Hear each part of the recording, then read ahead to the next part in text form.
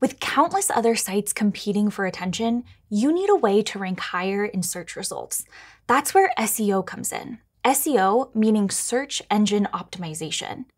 SEO is about helping search engines understand your content and helping users find your site and make a decision about whether they should visit your site through a search engine. Wow, that's an excellent definition of SEO. Thanks, Screamer. I got it from Google Search Central. Whether you're a designer, marketer, or content editor, it's vital to know how to optimize your site for search engines. And we'll break it up in three areas technical SEO, site performance, and on page SEO.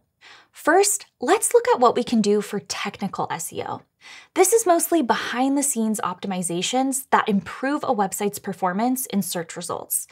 In your site settings under the SEO tab, you'll find a bunch of options to optimize your site. Let's walk through a few of these. First up, sitemaps. A sitemap is like a blueprint of all your site's pages, helping search engines understand your site better. In Webflow, you can toggle this on to auto-generate a sitemap, saving time and keeping search engines updated every time you publish your site. But for more advanced control, you can create a custom sitemap and upload it here instead. Next, we have Google Site Verification.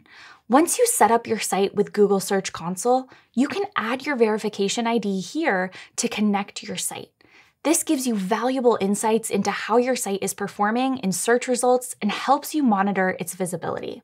And if you're using Google Analytics, you can connect it to your Webflow site through the Integrations tab in your site settings or you can use the Google Site Tools Webflow app. With Google Analytics, you can track visitor behavior and gain valuable insights that help you improve your SEO strategy.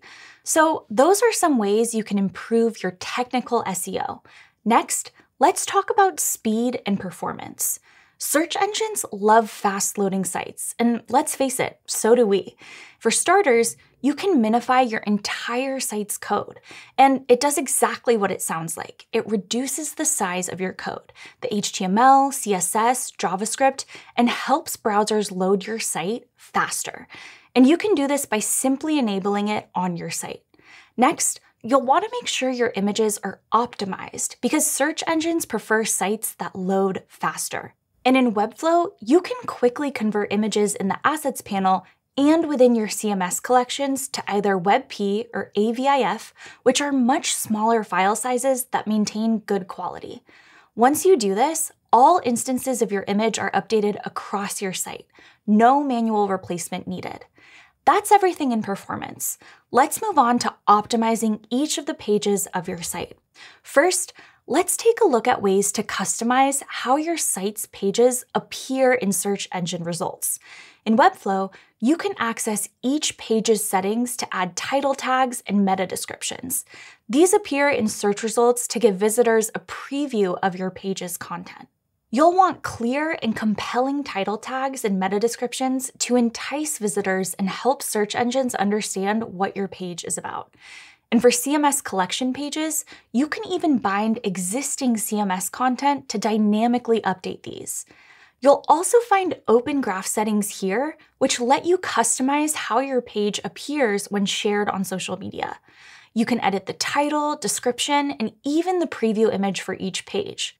Are we done? Not quite, because you'll also want to optimize the content on your site's pages. Adding alt text is essential for search engines and visitors who rely on assistive technology to understand your images.